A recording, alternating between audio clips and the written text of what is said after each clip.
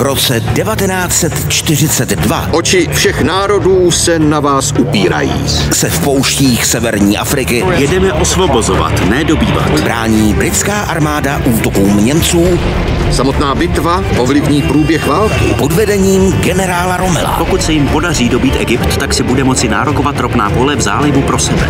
Pouštní generálové v úterý a ve čtvrtek ve 20 hodin na CS History.